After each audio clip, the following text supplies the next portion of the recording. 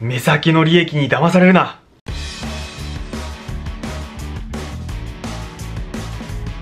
はいどうも弱小セドラの高田です。今日はですね、えー、ちょっとタイトルあった通り、えー、目先の利益に惑わされるな、えー、ちょっとこのことについて話していこうと思います。はい。でまず、えー、ちょっと皆さんに、えー、質問したいんですけどなぜ背取りを始められましたか？おそらくいろいろあると思うんですよ。お金を稼ぐ方法って。まあえー、と最初副業から入る方が非常に多いかなと思うんですけど副業といってもいろいろあるじゃないですか、えー、もちろん株とか FX とかの投資系であったりあとアフィリエイトとかブログです系ですね。とか、えっ、ー、と普通にバイトをするとかはい。まあ、いろいろあると思うんですよ。副業一口に副業といっても。でその中数ある副業の中でなぜセドルを選びましたか、まあ、おそらく、えー、ほとんどの人が、えー、同じ答えだと思います。僕もほぼ同じ答えです。それは何かっていうと再現性の高さ側近性の良さですよね。はい。要するにまあすごいシンプルじゃないですか、えー、やり方としては、えー、仕入れて、えー、物を仕入れて、えー、それを、えー、Amazon 上で売るっていう、えー、すごいシンプルで、えー、しかもすごい再現性が高い。はい、ほとんど同じやり方としてはもう仕入れて売るだけなんで、えー、再現性としてはすごい高い、はい、で売ったら、え、すぐお金が入ってくるってことで側近性もめちゃくちゃあると。いう理由でおそらく背取りを始められた方が大半かなと思います。僕も、えー、同じ理由で始めました。僕はちょっと株とか、えー、アフィリとかやったんですけど、えー、もう全然長続きしなくって、背取りを始めて、まあちょっとこれを本腰入れてやろうっていうことで、まあやっていくようになったんですけど、えー、まあそういった理由、まあ、ほとんどが、えー、再現性の高さとか良さとかあの側近性があるとか、えー、そういった理由で始められたと思うんですけど、えー、大体ですね、え、そういったか、え、理由で始められるとですねすぐに稼ぎたい。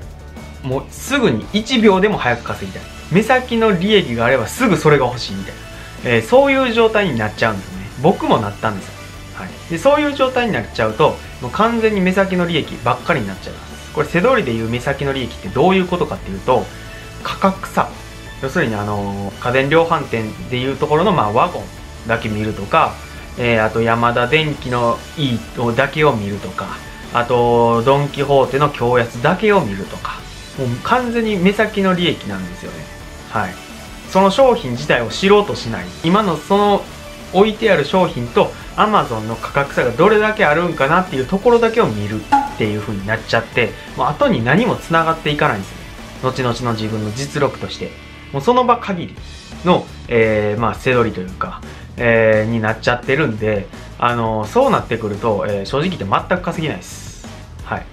稼げてもその時稼げたたまたま稼げただけであってじゃあ次来た時あるのかって言ったらまあないかもしれないですよね、はい、そんな確率とか運だけの問題になっちゃうんで、えー、そうなってくるともし最後、え、独立したいって思われてる方かすかに思われてる方でもいいんですけど正直その状態では独立はもう多分一生できないです。えー、まあ、背取りといえど、あのー、Amazon 上で、えー、普通に一般の購入者、えー、お客さんの方に、えー、物を売っていくっていう風な、えー、まあ、形になるんで、なんか背取りっていうとすごい軽いような感じなんですけど、えー、普通に物を売っていく、要するに物販なんですよね。はい。物販ってあの例えばなんですけど、えー、家電量販店とかって別に卸のここだけを見るとか多分してないんですよ。はい、きちっとあの需要と供給の部分をしっかり考えて、えー、売っていってると思うんですよね。ユーザーのターゲット層とかその辺りまで考えて、えー、まあ、小売とかは売っていってると思うんでそこに合わせての価格設定とか、えー、そこまで多分考えられてるんですよね。はい。要するにまあ正直言って同じなんですよ。あのー、背取りだからといって要するにドンキの強安だけを見るとかヤマダの E だけを見るとかあのイオンの赤札だけを見るとか正直そんなことで今後も稼いでいけるわけがないんですよね。はい、まあ多分もう実際やられてる方はもう正直あのもう稼げてねえなっていう方が結構多いかと思います。はい。実際ちょっとねあのこの前あの家電量販店行ってきてあのワゴンを片っ端から見ていったんですけどもうほとんど利益取れなかったほとんどというかもうゼロですね。はい。一つも仕入れ対象になるようなものはなかったです。はい。正直まあそれがもう現状になってきてるんでぜひですねこの動画を見てくださっている方はあの需要と供給の部分商品の知識っていうのをきちっとつけていただいて要するにそういうのがついてくると後々の自分の実力っていう風になってくるんであの非常に稼ぎやすいというかあの稼いでいくことも可能にはなってきます。正直言ってあのワゴンとかあのなんかイオンの赤札とかって何も考えなくていいじゃないですか。だから言い換えてみればすごい楽なんですはい。店舗行ってえ、ー、ともう指定されたところだけを見ていくだけの作業って、え、すごい簡単な作業すごい楽な作業なんですけど、えー、正直もう今の現状の背取り会ではもう稼いでいくことはほぼ不可能です、まあ、たまたま、え、その場で利益取れるものがあったとしてもえー、もうそれで終わっちゃうんでそれがまあ自分の実力かって言われたら別に実力でも何でもないんで、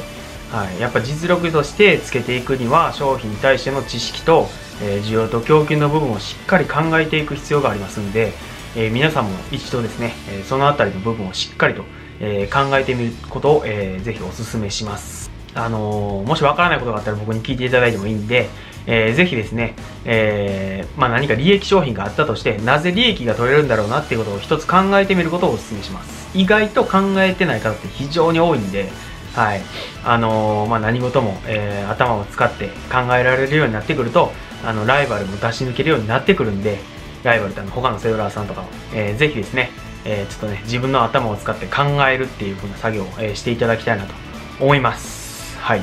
ということでですね、えー、今回は、えー、ちょっとですね、え目先の利益に惑わされるなっていう風な動画になります。ということですね、えー、これからも、えー、セドリや転売に関する情報を随時発信していこうと思ってますので、えー、ぜひ、チャンネル登録の方よろしくお願いします。それからですね、えー、何かわからないこととか困ってることとかあれば、えー、ぜひ LINE アットの方にですね、えー、メッセージいただければ、えー、こちらとしても回答いたしますんで、えー、そちらのメッセージの方もお待ちしております。それでは、えー、動画を終わります。ご視聴ありがとうございました。それでは、さよなら。